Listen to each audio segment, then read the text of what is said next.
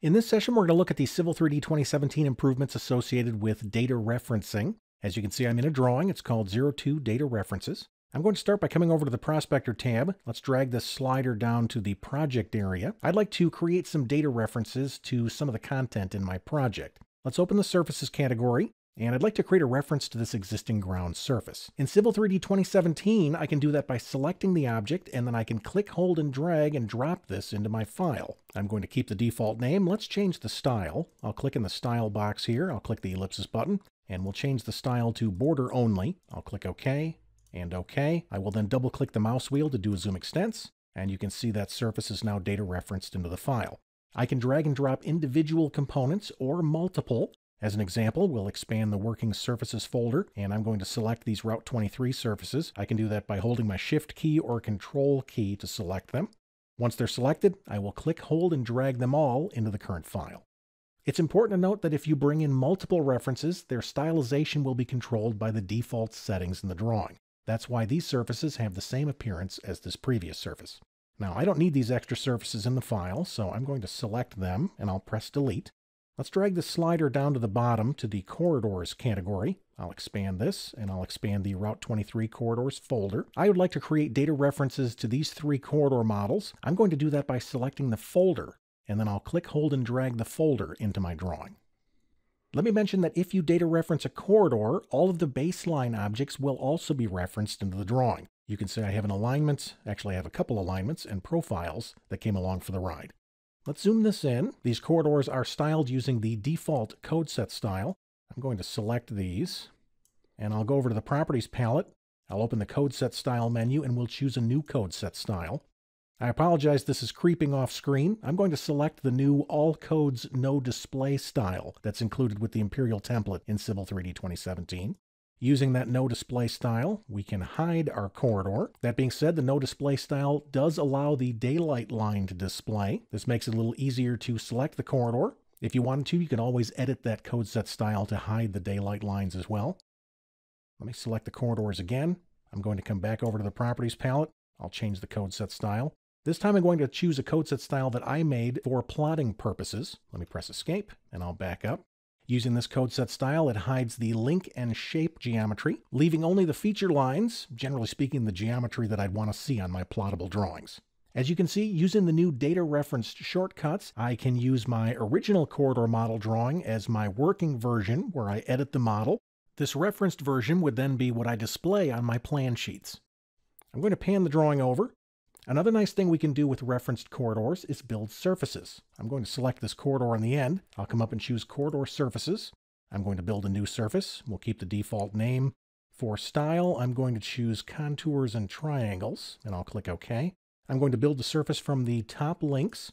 We'll add those as a break line. I'm going to use the top links overhang correction. And then I'd like to add a couple feature lines as well. I'll add the back of curb We'll add the flow line of gutter, and then I'm going to add the top of curb. Finally, we'll add a boundary to the surface. I'll do that by going to the Boundaries tab. I'll right-click on the surface I just made, and I'll choose Corridor Extents as outer boundary. I will then come down and click OK, and I'll rebuild.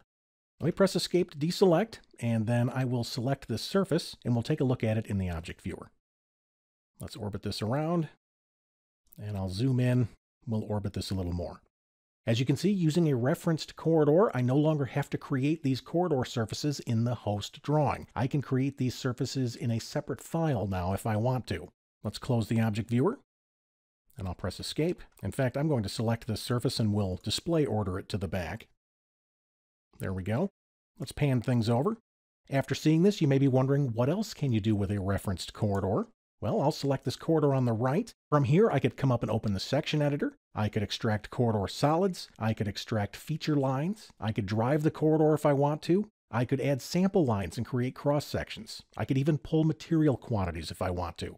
Generally speaking, I can do anything with a referenced corridor that I can with the actual corridor, except make edits. Let's zoom out and we'll look at another concept. Historically, when you create a data reference, a copy of each object is cached in the local file. That is, every object except for the surface. Just for a second, I'm going to go to the Prospector tab. Let's drag this up to the drawing area. I'll select the surfaces category. Right here, we can see my data referenced existing ground surface. If I drag this over, we can see the description, the style, the source drawing where the surface lives. Notice we have a new column called data reference status.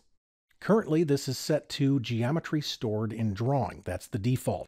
So starting in Civil 3D 2017, we have the option of caching our surface data in the local file as well. By storing this data in the file, our drawings will open quicker because the data is already in this drawing. It doesn't have to come in from a reference. Likewise, if I send this file to someone else via email, I don't have to worry about attaching the data shortcuts because a copy of this geometry is already in the file. The trade-off is if the geometry is stored in the drawing, it can make your file sizes larger.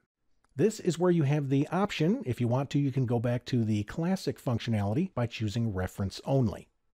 After seeing that, you may be wondering where this setting is stored if you wanted to make that adjustment in your template file. Just for a second, we'll go to the Settings tab. I'll open the Surface category. We'll open Commands, and then I'm going to come down and find Create Surface Reference. I'll right-click on that command and choose Edit Command Settings. Right here, we'll open Surface Creation, and you can see Store Referenced Surface in Drawing. By default, that's set to yes, but you could always set that to no if you wanted to.